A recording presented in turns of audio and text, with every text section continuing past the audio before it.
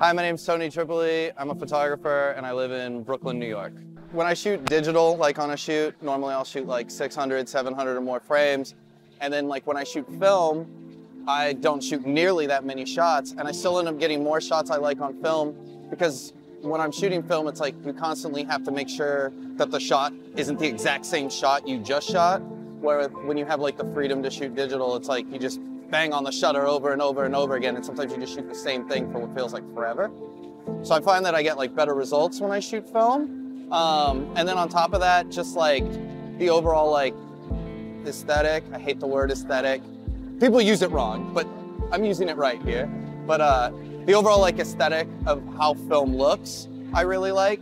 So I can spend like hours retouching a digital photo to try and make it look as much like a film photo because I just that's the the look I like or I could just shoot film and get the look I like right out the box. Uh, the thing I really like about the LomoChrome Metropolis is it looks cross-processed, but it's C41, so it's still like really easy to develop. Photo shoots nowadays, especially like in the digital world, there's like, it's not just a photographer looking through and seeing what he's seeing, it's a bunch of other people looking through and, and calling out things, which can be good, but when you're going for like that look of how film like, you know, especially how certain films deliver, you know, you, you gotta make those sacrifices. And a lot of times that's difficult working professionally to get people to understand that. Um, and then on top of that, just like, you know, there's a little bit of an added cost to shooting film. You, it's not just like digital where you shoot it to a card and go home and put it in your computer. Like, you know, I have to buy the film, I have to drop the film off to get developed, I have to either scan the film myself or have someone else scan it.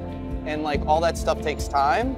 And, you know, in a photo world, you, you're billing off of time. So, I mean, that stuff kind of adds up.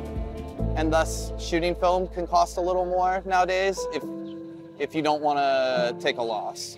Um, I think like people who are into that look um, and like that's really what they want, then it's kind of easy to sell them on it, but you, I find that it's easiest to talk to people beforehand, kind of in depth. Like, so when we're on the shoot, I'm going to shoot film.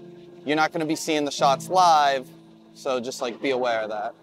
So a lot of the shots that I chose today were just, I was looking for like good reflected light um, that I could then use the city as a backdrop, just because the film has like a more desaturated, kind of contrasty, like I said, like almost like cross-processed look.